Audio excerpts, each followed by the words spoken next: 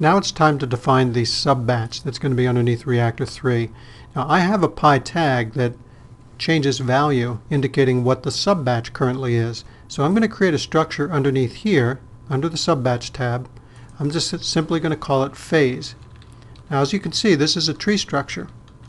So if I wanted to, after I created this structure phase, I could choose another sub-batch, let's say step or you know some other sub-batch that would be interested in dividing the phases into individual and smaller parts.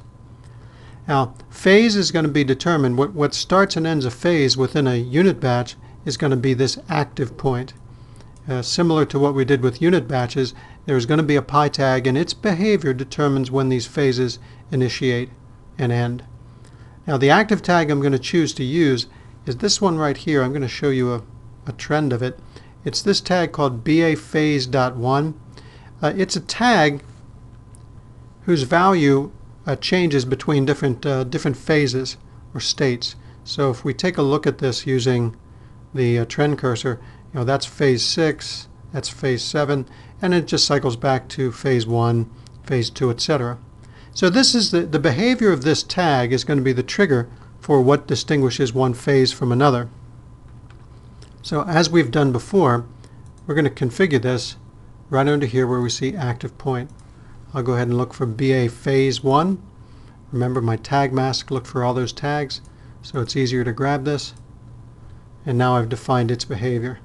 Now this particular active tag is, um, is going to be using a step which indicates that uh, each different step as it goes through phase 1 through phase 7 or state 1 through 7 is going to be an individual phase.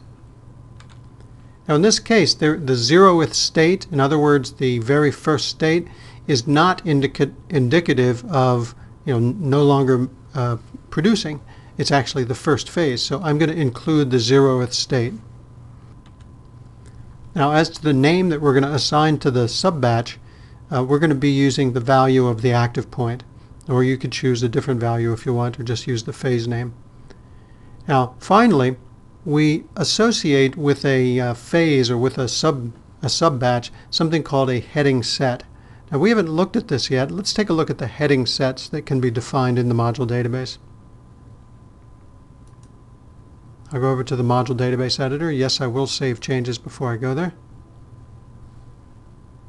And we should see right at the top there's a set of heading sets.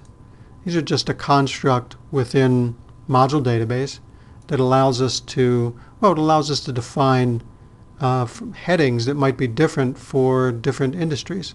So for example, if you don't call them operations and phases, if you call them, you know, reels and stages or something like that, then you could easily do that. And it, it, it allows you to assign the level of the hierarchy, etc. So we're going to use this S88 sub-batches for my heading set. Going back here to Reactor 3 South, I'll go ahead and choose that S88 sub-batches. Okay, well I'm ready to go ahead and configure this or, or save this and then register it. Now if you'll notice the work we've done so far, let me go ahead and save it here. The work we've done so far has not created a registered unit batch that's being monitored by the PIBaGen interface. Instead, we have to go into this MDB view, select it with a right mouse click and choose register.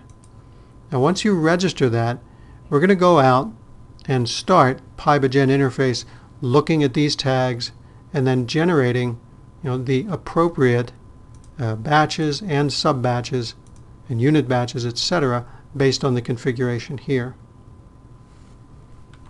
Now in this particular instance, since I did specify recovery, we should actually see it's going to go back and try to get up to one day's worth of data that it can kind of backfill. Now in this case, it's only going to go back as far as I have historical data, which is not quite one day. So let's take a look at the result. I'm going to go to this option here called Batch Database, and I'm going to do a simple batch search. So we have this option right here, Search for pi unit Batch. I'll go ahead and specify. Uh, we're going to look for all unit batches. Go ahead and say OK. And let's see if we've come up with any search results. Let's take a look at these right down here. These are the unit batches that are associated with that uh, reactor 3. I recognize these, and there we go, there's the unit, reactor 3 south. I recognize them because I, I know that the values of the uh, product ID and the procedure ID, that recipe name, these are some of the values that we typically take. And that's the value that we'd see in that batch ID. So these are now batch records that have been generated. We did go back just as far as we had historical data. Whoops, that's a little too far back there. Here's the one. This is the uh, 11 September 2009. And so these are two of the running batches, or these are two of the batches that we have generated using uh, PIBaGen and the configured reactor 3 unit batch that we just saw. This one right here is still running. Now the big finish would be to take a look at this in ProcessBook. I'll go ahead and delete this and just do a batch search.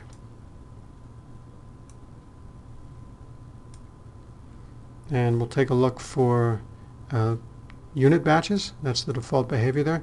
We'll look for all unit batches, or we could look for just units that begin with the name reactor.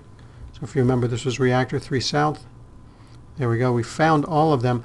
Now look what we've also found. We've seen, uh, we see all the common aliases. So if I wanted to add, let's say, the temperature and the concentration, I can then produce a, a trend that compares temperature and concentration for these three batches.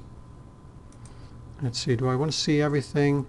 I'm just going to see the, the Gantt chart and the trend like this. I could also look at the search results and the search option there. We'll just look at these. And there's our big finish. So what we're seeing here, this is the most recent batch. It's in green. This is the second most recent in red. And then all the other batches, there's only one in this case, are going to be blue. And what we're seeing down here are temperature and concentration compared to each other. Now let's just make one modification to that. Let's just remove concentration. And um, we'll just compare temperature. So here we have three different batches. They occurred at different times. You can see the times if you hover over them. Uh, and we're now comparing the temperature for uh, that particular batch or for each one of those batches one to another.